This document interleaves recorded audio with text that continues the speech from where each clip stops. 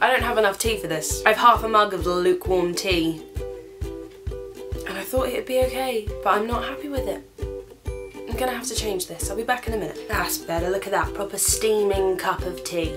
Yes. Whilst I was downstairs, I found this in my kitchen. It's just a leaflet for Elliot & Co. estate agents. It's an apple that when you cut into it is an orange. Refreshingly different. I'd be annoyed, if anything. I chose an apple. I wanted an apple. I'd be kind of annoyed if I bit into it and found an orange because I didn't want an orange.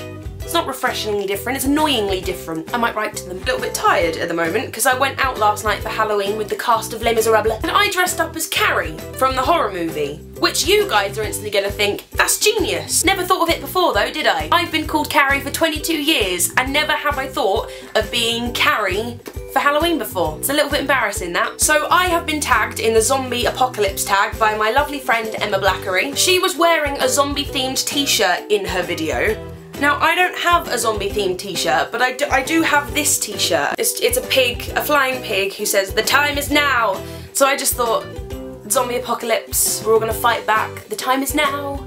The day is here. One day more, na, na, na, you can take the girl out like this. I didn't even expect that gag, that kind of just happened to me. I was possessed by the demons of Les Mis. Okay, let's do this. Which three YouTubers would you have in your team? I would have Emma Blackery because she's feisty and I reckon she'd scare a lot of the zombies off. She also plays a lot of video games, so I reckon she'd know a lot of, a lot of tactics for killing zombies, like where you have to stab them or which limbs you have to cut off. Do you have to do that to kill a zombie? Is that how you kill zombies? Clearly I'm gonna die very fast. I'd also have Pete Bucknall, Pete's Jams on YouTube, because we went horse riding not long ago, and whilst he was on that horse, he was given a sword, and I just looked at him and thought, you'd be good in battle.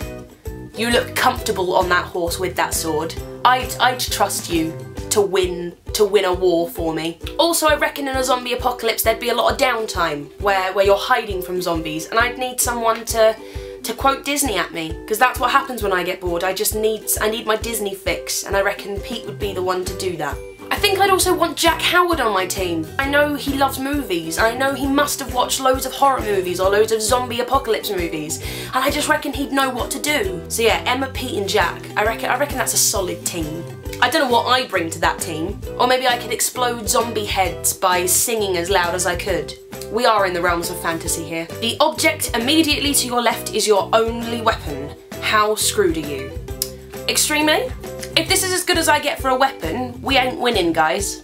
If you were a zombie, who would you want to bite? Is that kind of like a revenge kind of question? Is that like a, I, I bite them because they annoyed me when I was a human and I want to make them be zombified? Or is that like a, I like this person enough to bring them over to my side kind of thing? Or is it like a, is it a sexy thing? That's weird.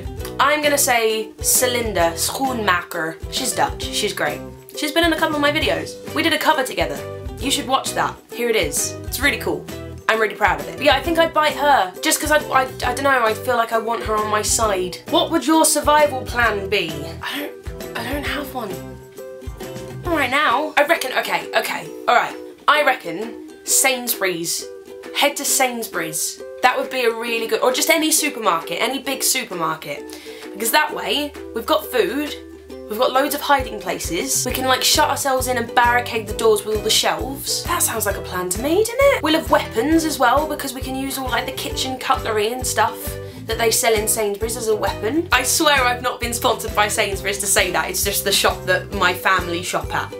It's the one that came to mind fastest. What would you do if your parents became zombies? Is this like the choice between kill them or let them live? I mean, if they pose a threat to all of the humans on Earth, then I'd either find a way to like lock them within the house so that they couldn't get out. Because at least then I know that I've not killed my own parents. I've given them a chance at zombie survival in some way. But I'm also containing them so they don't pose a threat to everybody else. But at the same time, they're not really my parents anymore because they're zombies. Oh, I'd kill them. Do you want the zombie apocalypse to happen? No, of course I don't.